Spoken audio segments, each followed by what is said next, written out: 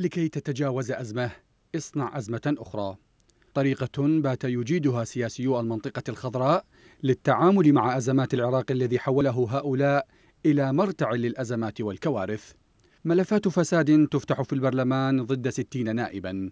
عقوبات أمريكية تفرض على شخصيات ميليشياوية وسياسية فاسدة. واشنطن تدير ظهرها لرئيس الوزراء عادل عبد المهدي وتؤجل زيارته المفترضة إلى واشنطن.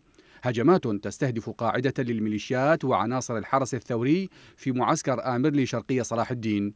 كل ذلك الغيظ من فيض أزمات الساسة في العراق يتطلب أزمة أخرى تلفت الأنظار نحوها وتصرفها عن كل ما يجري في الدهاليز السياسية والأقبية الميليشياوية بعيدا عن هموم الشعب الذي يعيش مصائب مزمنة الأزمة التي يراد افتعالها هنا حديث إعلامي متصاعد عن عودة تنظيم الدولة إلى مناطق في شمالي العراق وكلام عن شنه هجمات في مناطق متفرقة من نينوى والتأميم وصلاح الدين.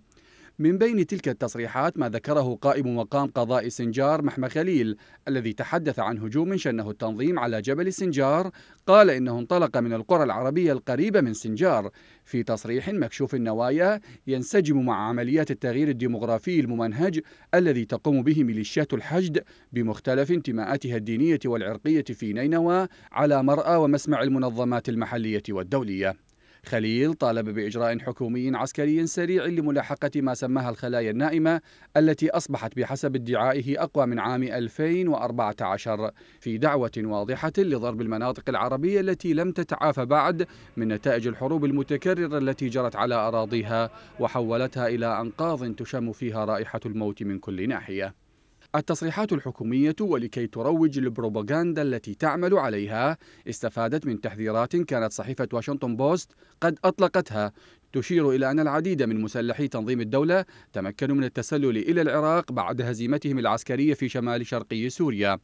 كلام إن صح فإنه يضع كل ما قيل عن النصر والتحرير وهزيمة التنظيم أدراج الرياح. ويفتح الباب على رياح الشر الذي يراد لتلك المناطق المنكوبة أن تتعرض لها من جديد. لكي ينفذ المشروع الإيراني الهادف لتغيير تلك المناطق ديمغرافيا وإبقائها قربانا لذلك المشروع الشرير.